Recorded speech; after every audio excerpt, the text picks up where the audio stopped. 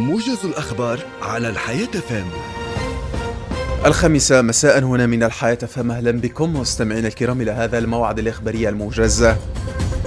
تحت إشراف الإدارة الجهوية للصحة ببن عروس تتواصل سلسلة الأنشطة التحسيسية والتثقيفية التوعوية التي تنظمها المصلحة الجهوية للطب المدرسي والجامعية بمختلف الفضاءات التربوية ومؤسسات ما قبل الدراسة بالجهة وشملت الأنشطة التي تندرج ضمن فعاليات الأيام الوطنية للتثقيف الصحي والوقاية من الإدمان الإلكترونية لدى التلاميذ والشباب ومواضيع تهم الصحة النفسية للطفل في مرحلة ما قبل الدراسة وسن الدراسة وجهت بالأساس للمربين والأولياء ويذكر بأن هذه الأنشطة التثقيفية والتوعوية تتواصل كامل الموسم الدراسي بمشاركة الإطار الطبي والصحي المتخصص.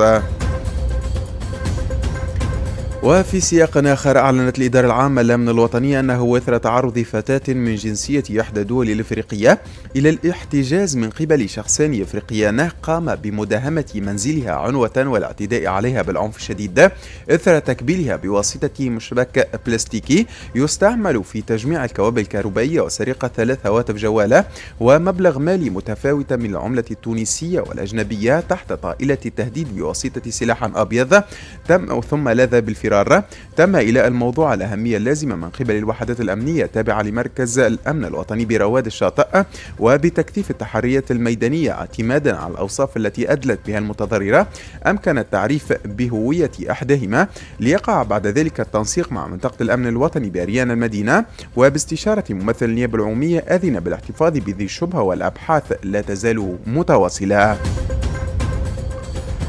وفي سياق آخر أكدت الإدارة العامة للأمن الوطني أنه إثر توفر معلومات لدى الوحدات الأمنية التابعة لمنطقة الأمن الوطني بالعمران مفادها استغلال أحد الأشخاص يبلغ من العمر 38 سنة محل سكنه بجهة حي الرومانة بالعمران في صنع طائرات من دون طيار. وأضافت الإدارة العامة للأمن الوطني أن فرقتي الإرشاد والشرطة العدلية بالعمران قامتا بالتعاون مع الوحدات الأمنية التابعة لمركزي الأمن الوطني بحي الرومانة والعمران الأعلى بمداهمة محل سكنه بعد التنسيق مع النيابة العمومية والقبض على المعني بالأمر أين تم حرز قطعة من مخدر القنب الهندي وسجائر محشوة بذات المخدر وثلاث طائرات دون طيار. وباستشارة ممثل النيابة العمومية أذن بالاحتفاظ به من أجل جرائم المخدرات ومسك أشياء مجهولة المصدر ومخالفة التراتيب الجاري بها العمل والأبحاث متواصلة. على صعيد فرقة الشرطة العدلية بالعمران.